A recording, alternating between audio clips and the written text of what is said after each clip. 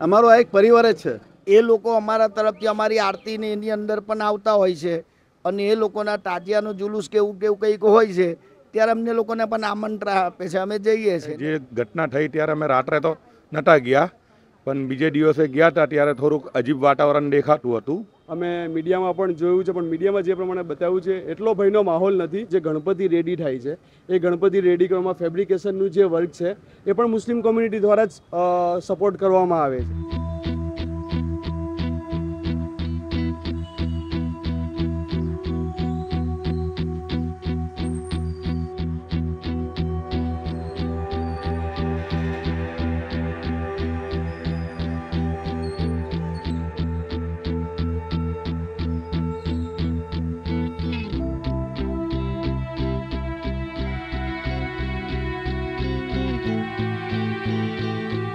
ત્યાં તો બધી ચીજ અમારે એઝ પર રૂટીને છે. અમારો આ એક પરિવાર જ છે.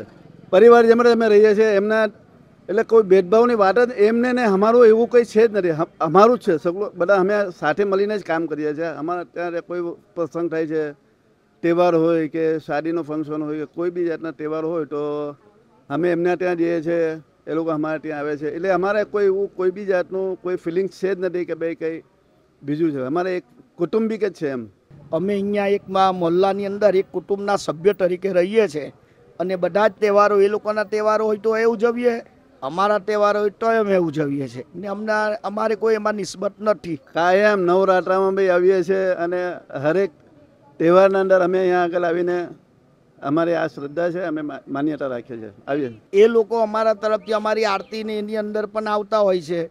અને એ લોકોના તાજિયાનું જુલુસ કેવું કેવું કંઈક હોય છે ત્યારે અમને લોકોને પણ આમંત્રણ આપે છે અમે જઈએ છીએ. ત્યાં અમારા કોઈ ફરક જ નથી એમ. આ વસ્તુ અમે કંઈ જાણતા જ નથી કંઈ છે જ નથી. પેપરમાં સવારે વાંચીએ તે જ બીજું કંઈ નહીં. સૈયદપુરામાં જે ઘટના બની એમાં એવું હતું કે અમે જે ઘટના થઈ ત્યારે અમે રાત્રે તો નહોતા ગયા પણ બીજે દિવસે ગયા હતા ત્યારે થોડુંક અજીબ વાતાવરણ દેખાતું હતું. એમાં મંડપ ઉપર થોડા પોલીસ સિક્યુરિટી હતી થોડું પબ્લિકનો માહોલ થોડો ગરમ લાગતો હતો એ પ્રમાણેનું હતું. પણ એમ જોવા જઈએ તો એટલું બધું ખાસ કંઈ દેખાયું નથી. આ ડાન ફાનમાં બી જે બી હોય છે એમાં બી અમે કોપરેટ થઈએ છીએ. અમારે અમારી રીતે બી આપવું લેવો જે કરીએ છીએ. અને આ લોકોની જે આરટી ને બધું બી થાય છે એમાં બી અમે આવીએ છીએ. એકચ્યુઅલીમાં જે વસ્તુ થઈ હતી બહુ ખોટું થયું છે.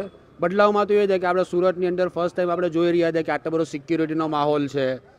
જનરલી સુરતમાં એક વાગ્યા બે વાગ્યા સુધી પબ્લિક ગણપતિ જોવા માટે ફરતું હોય છે. પણ આ બનાવ થયા પછી લગભગ બાર વાગ્યા પછી રોડ રસ્તા શાંત થઈ જાય છે.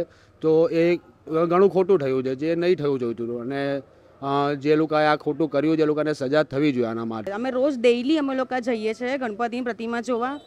પણ જે સૈયદપરના જે ઘટના થઈ છે, તેને જોઈને અમે જઈએ છીએ રોજ પણ એવું લાગતું નથી કે ડરવાનો માહોલ છે. ત્યાં પણ અમે જઈને આવ્યા, પણ એવું કંઈ ડરનો માહોલ આમ ઊભો થયો જ નથી. પહેલે દિવસે એવું લાગ્યું કે ડર બાદ ડરવા જેવું છે, આવું પથ્થરમારો થયું, પણ અમને તેવું કંઈ ફીલ થયું જ નથી. સૈયદપરામાં જે ઘટના બની, એના માટે એટલું જ કહીશ કે જે કાળ હતો એ નીકળી ગયો. એના પછી બીજે દિવસથી કે સેમ ડેથી કશું ફરક પડ્યો નથી.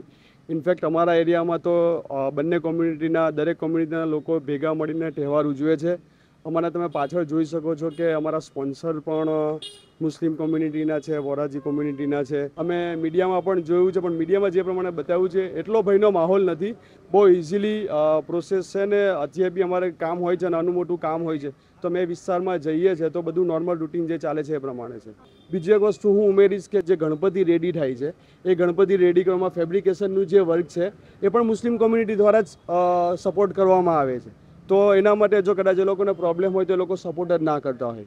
એટલે કીધું એ પ્રમાણે કે દરેકને શાંતિ જ પ્રિય છે. એવું ના હોય કે એ હોય છે કે ભાઈ કોઈને ધર- ધર્મ પ્રત્યે ભેદભાવ હોય છે કે કોઈને કોઈનો તહેવાર બગાડવો હોય છે.